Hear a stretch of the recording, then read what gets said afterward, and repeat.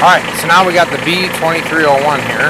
Uh, we're going to start out with our weight that we left off on the BX at the 626 pounds. We'll note that these tires are loaded on this tractor.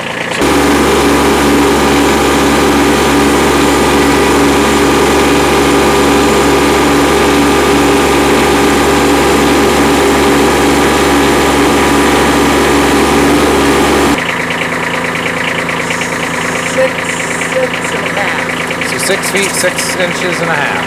Six, six and a half is how high this one lifted it at 626 pounds.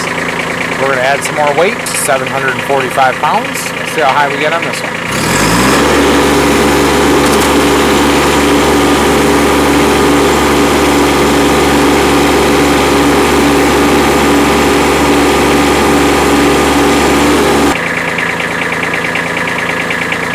Five feet, five inches, and a quarter. So five feet, five and a quarter inches. How high with this one got? Five feet, five and a quarter inches.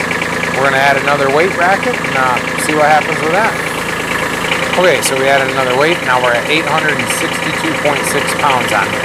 862.6. Let's see how high we get with this one.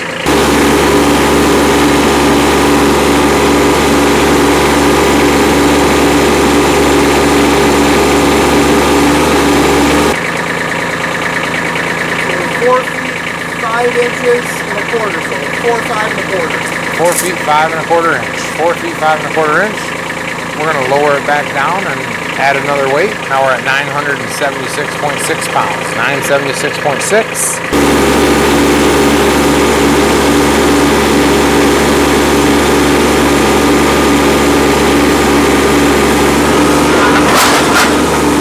Alright, so in the last video you guys seen me about flip over on this thing, and it was because the, the front axle had not hit the stop yet. But in any event, we went and we grabbed a weight box. This Land Pride WB10 filled with concrete.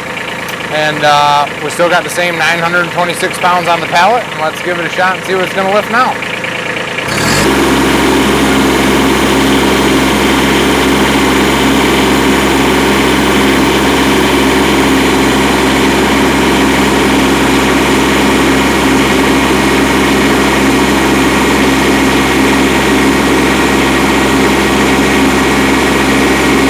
That weight box is doing exactly what it's designed to do. It's changing that pivot point and putting it back further on the. Then we got three feet, 11 and a quarter inches off the ground. So not too bad for 926 pounds. We're gonna drop this down, add some more weight and try it again. 1,098, so almost 1,100 pounds is what we got in the front here. Let's see what it's gonna do.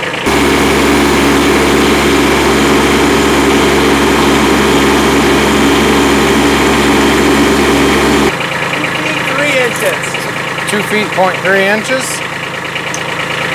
Uh, we're gonna drop it down.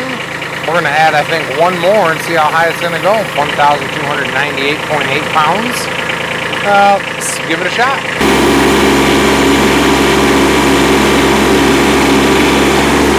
Set it up off the ground where you could, you know, move it around, or whatever. You're not gonna What? set it in nothing, but it got it a foot off the ground. So that's pretty good for the B2301. So that gives you almost 1,300 pounds hanging off the front of this thing for lift capacity.